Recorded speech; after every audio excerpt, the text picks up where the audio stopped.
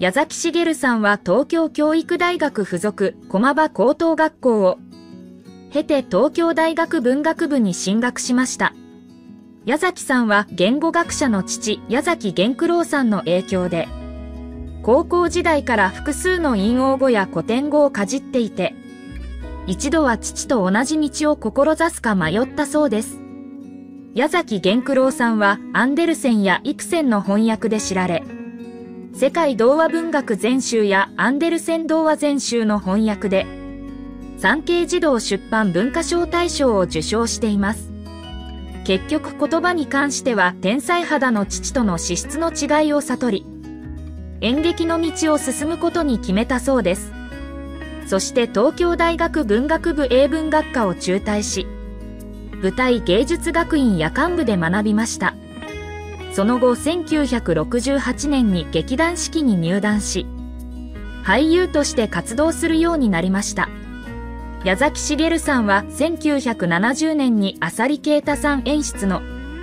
ブラックコメディーで主役に抜擢されるなど活躍を期待されたようですが、1973年に劇団四季を退団し、1974年にフリーとして活動を始めました。そして1979年に井上久志さんの小林一茶の舞台で主演し、注目されるようになりました。矢崎茂さんは1987年に東京芝居クラブを設立し、座長を務めました。また後進の育成のために福山大学で客員教授として演技・演出論を担当しました。東京芝居クラブは座員約10人ほどの小劇団で、全国の小さい芝居小屋や映画館で、敬遠劇の舞台を上演していたそうです。1988年からは劇団仲間たちと矢崎茂素人予選を行い、落語家としても活動しました。矢崎茂さんは2014年以降は、ドラマや映画など芸能活動はしていないようです。芸能界を引退したのではと言われていますが、本当に引退したのかどうかを調べてみました。矢崎茂さんは2014年に水谷豊さん主演の刑事ドラマ、相棒シーズン13の第8話、幸運の行方に出演したのを最後に、芸能活動を行っていません。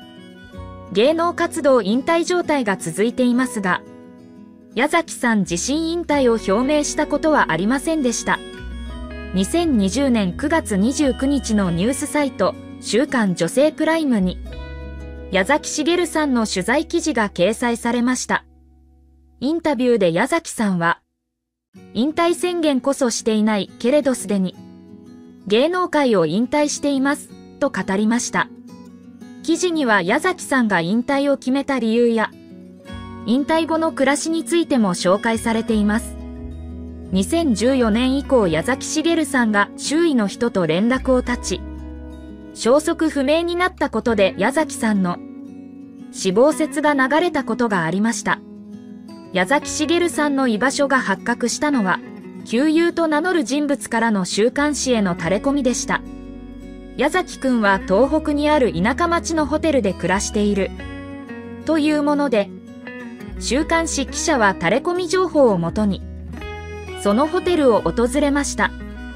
矢崎さんが暮らしていたのは、錆びれた駅近くに立つ簡素なビジネスホテルの一室でした。矢崎茂さんはビジネスホテルの一室で暮らしてましたが、その理由は一軒家を借りるより効率が良いからだそうです。何でも同じ金額で一軒家を借りたら、諸々の諸経費がかかるし、メンテナンスなど面倒なことがいろいろあります。でもホテルなら掃除もしてくれて、冷蔵庫やテレビも壊れたら交換してくれるし、トイレットペーパーも補充してもらえるのだそうです。またホテルの近くに場外馬券売り場があり、馬券をすぐ買えることも大きな理由だそうです。矢崎茂さんは数多くのドラマに出演し、バラエティ番組でもクイズ日本人の質問など活躍していましたが、現在は芸能界を引退しています。そんな矢崎さんの芸能界引退理由は、何だったのかを調べてみました。矢崎茂さんは60歳目前頃から、徐々に仕事のオファーが減少していることを感じたそうです。ギャラも下がったそうで、相手にされなくなったんだと思い、そのせいで芸能界そのものが嫌になったのだそうです。また体の衰えもあったらしく、緑内障を患ったことも引退のきっかけになったらしいです。そして東京も嫌になり、住み慣れた東京から離れようとしたのだそうです。現在東北のホテルで暮らす矢崎さんは、自分と同世代の役者が出演している番組は見ないそうです。何でも、同世代で俳優を続けている人を見かけたら、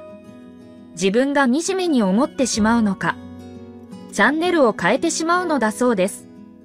矢崎茂さんは結婚しているのか否か、もし結婚歴があるなら現在はどうなのか、など、矢崎さんの結婚に関することを調べてみました。矢崎茂さんには結婚歴があります。元嫁となる女性は一般人だそうですが、名前や顔写真、またどこで出会ったのかなどは詳細は不明です。矢崎茂さんが離婚したのは、性的指向をカミングアウトしたことが原因で別れたと噂されたようです。でも事実とは違っていて、離婚理由は別にあったらしいです。矢崎茂さんは離婚後に元妻には財産分与したそうです。財産も家も元妻に譲ったという話もありますが、定かではありません。結婚歴のある矢崎茂さんですが、元妻の間には子供がいたのかどうか、もしいたなら息子か娘のどちらかなどを調べてみました。矢崎茂さんには息子さんがいるのではないかと言われています。元妻との間にできた息子さんなら、とっくに成人しているはずですが、はっきりしたことはわかりません。矢崎茂さんは70歳を超えていますが、現在はどんな暮らしをしているのでしょうか。また、都は美さんと噂になっていますが、そのことについても調べてみました。どうなっているか気になっていた歌手の都は美さんが、東北地方で元俳優の矢崎茂さんと、のんびり生活を送っていることをフライデーが報じた。都はるみが好きになった人は矢崎滋だったと、題するスクープ記事だが、この記事に驚くとともに、なぜかほっとした俺がいた。はるみさんのことは、全部で俺の友人だった故、朝月広臣さんと、同棲中から知っていたし、グアム島での挙式もスクープした。ただし行動はチェックしていたが、挙式は朝月さんからも晴美さんからも聞いたわけではない。実はその数年前に朝月さんが、結婚衣装を用意したと教えてくれて、二人のハワイ旅行に取材に行ってこともあったが、この時は挙式をしなかった。婚前旅行ということで、朝月さんのレクチャーで、ワイキキ海岸で写真を撮り、グラビアページにしたことも、そのことではるみさんに怒られた朝月さんは、極秘挙式を俺にも話さなかったんだ。大スターのはるみさんの前歌で出ていたのが、まだ売れてない朝月さん冬の寒い地方公演で、楽屋で震えていたはるみさんにコートをかけてあげてから、二人の仲は急速に近くなる。だがレコード会社は、スターと無名歌手の仲を何とか引き裂こうと必死だった。はるみと付き合うなら君の歌は出さない、と強硬姿勢。朝月さんはあっさり歌手を辞め写真技術の腕を武器に社食学校に通い卒業社食会社を起こす。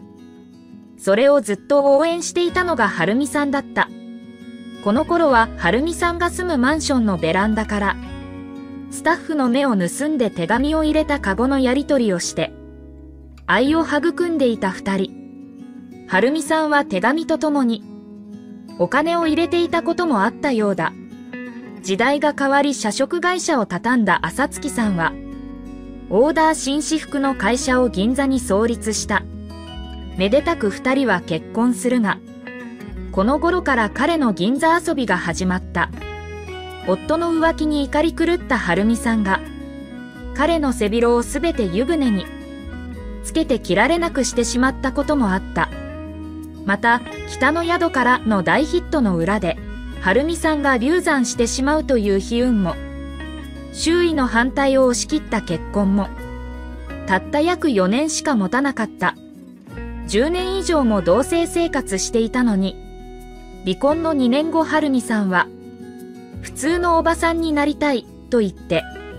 芸能界を引退する。その春美さんを再び芸能界に戻したのが、レコード会社の妻子持ちプロデューサーだった。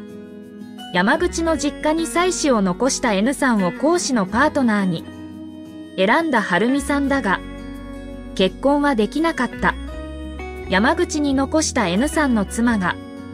彼の実母の世話をしていたからだ。だが数々のヒット曲を出させてくれた N さんが、一重引用不08年に突然世を去る。地方公演先から戻った彼女を待っていたのは、悲しい現実だった。警察に安置されていた N さんのご遺体にも会えなかったのだ。警察から連絡があった妻が、はるみさんには会わせないで、とお願いしたらしい。はるみさんは結局密葬にも参加できなかった。そして時は流れて一重引用符15年6月。作曲家玄哲也さんの50周年を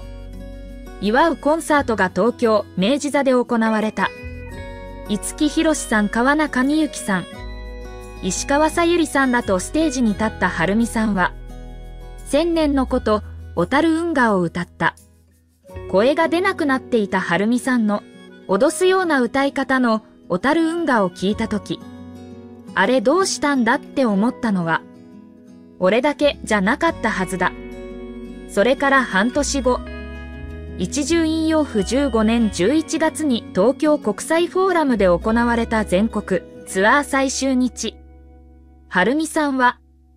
しばらくコンサートは休ませてもらいます。と言ってステージから去った。朝月さんが亡くなって今年で13回忌。今73歳になったはるみさんの幸せそうな姿が、俺には嬉しかったな最後までご視聴いただき、ありがとうございました。何かございましたらコメントください。よかったら高評価とチャンネル登録もよろしくお願いします。ではまた次回でお会いしましょう。